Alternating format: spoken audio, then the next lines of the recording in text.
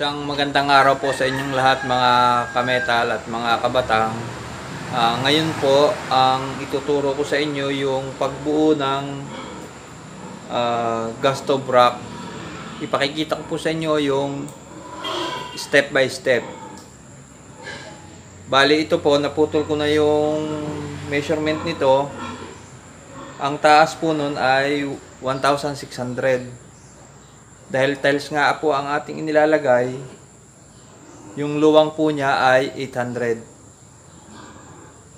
Pakikita ko po sa inyo yung pagbuo. Ang unahin po nating pagbuo ng gasto brack, ang unahin po natin yung uh, likod, yung backside ng uh, gasto brack. Pakikita ko po sa inyo po pagtatake.